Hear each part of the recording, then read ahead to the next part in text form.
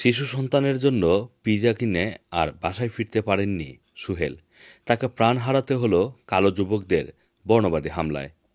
একুশ মে শনিবার প্যারিসের বাস্তিল এলাকায় ভোর পাঁচটায় কাজ শেষ করে অন্য কলিগদের সাথে খাবার খেতে গলির ভেতরেই একটি রেস্টুরেন্টে যান সুহেল রানা। নিজে খেয়ে সন্তানের জন্য একটা পিজা কিনেন। সবাই যার যার পথে চলে যাবার পর সুহেল রানাও বাসার উদ্দেশ্যে রওনা হতেই কয়েকজন কৃষ্ণাঙ্গ যুবক তার পথ রোধ করে বোতল দিয়ে মাথায় আঘাত করে, তারপর এলোপাথারি লাথি মেরে অজ্ঞান করে ফেলে। পাশেই সুহেলের পরিচিত এক রেস্টুরেন্টের মালিক সুহেলকে চিনতে পেরে পুলিশে খবর দিয়ে তাকে উদ্ধার করেন। অবশেষে চার দিন হাসপাতালে চিকিৎসাধীন থাকা অবস্থায় পঁচিশ মে, বুধবার সকাল সাতটায় সুহেল রানা মারা যান। জানা যায়, সন্ত্রাসীরা তাকে নির্মমভাবে মেরে আহত করলেও তার ফোন এবং সাথে থাকা অন্যান্য জিনিসপত্র নিয়ে যায়নি। বাংলাদেশের মুন্সিগঞ্জ জেলার সিরাজদি খান উপজেলার বাসিন্দা সুহেল রানা গত এগারো বছর যাবৎ প্যারিসে বসবাস করছেন।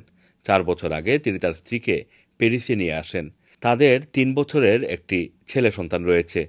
পরিবার নিয়ে তিনি ফোর্ট দ্য ওভারভিলায় বসবাস করতেন। সুহেলের মৃত্যুতে প্যারিসে বাংলাদেশি কমিউনিটিতে সুখের ছায়া নেমে আসে।